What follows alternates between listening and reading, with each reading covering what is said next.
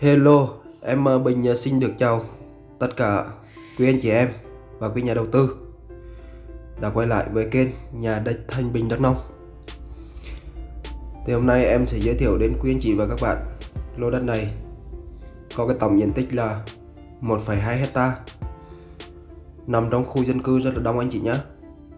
Và đường đi thì ờ, lối lại thì nó cách đường bê tông chỉ rơi vào khoảng 700 mét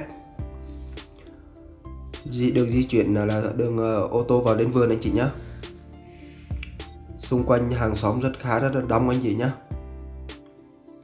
ở mảnh đất này thì uh,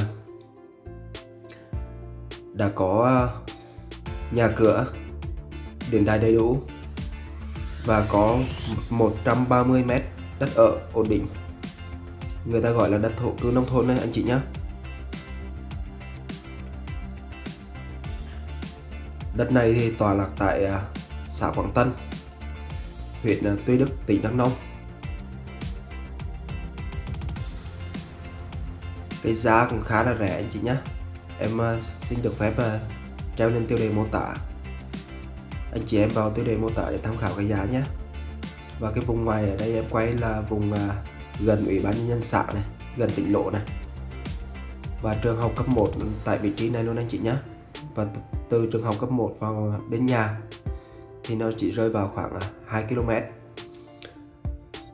Và đây là trên à, cái sân bác chủ đang à, 2k để mà phơi. Thì có một căn nhà kiên cố như này anh chị nhé đã có điện đài và có giếng nước. Và đây là con đường từ ờ, ngoài bê tông đi vào này chị nhé đường vào nhà mình là vừa tới nhà mình là đường rẽ qua một cái hướng khác. Đường của mình là đường thông anh chị nhé đường thông qua xã khác luôn. Chứ đường mình là không có bị cụt. Và từ vị trí đường lên cả sân nhà mình đây. Trên đất thì ờ, đã có nguồn thu ổn định, đó là cà phê và tiêu và máy móc của cha cả, cha cà và hệ thống tưới tắm đầy đủ anh chị nhé. Thì cái ờ, nguồn nước ở đây là đất này ờ, không có ao anh chị nhé. Đất này không có ao. Đất này ờ, bác chủ tưới tắm qua một cái ao riêng của bác chủ luôn nhưng mà nằm ở một cái vị trí đất sinh một vị trí đất khác đây là đồng hồ điện này điện ở đây cũng rất là mạnh anh chị nhé vì nó cũng gần cái à, trụ điện lớn. Và đã, đã có giếng nước này máy bơm đầy đủ hết rồi. Thì anh chị em vào mua lô đất này thì mình à, chăm sóc cây thì mình ở mình à, sinh sống tại đây luôn anh chị nhé vì ở đây có những hộ hàng xóm ở hiện tại đây. Và rất là đông luôn.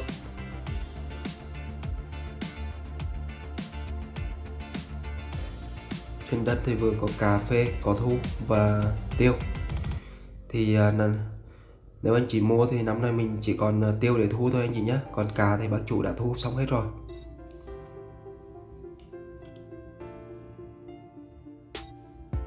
Vị trí đất này à, khá là bằng đẹp, thuận tiện. Em xin nhắc lại cái thông tin của lô đất này là tọa lạc tại xã Quảng Tân huyện Tuy Đức, tỉnh Đắk Nông. Từ quốc lộ 14 từ ngã ba thị trấn Kiến Đức vào lô đất này là 9 km anh chị nhé. 9 km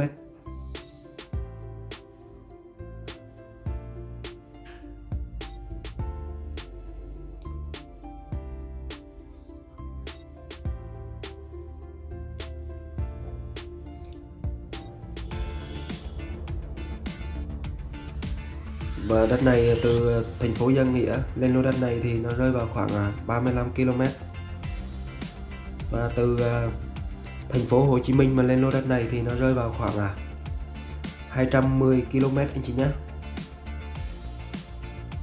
Ở phía trên này thì bác chủ đã cắt đi một phần cà và đã trồng cà lên được bước qua mùa mưa năm thứ hai rồi anh chị nhé.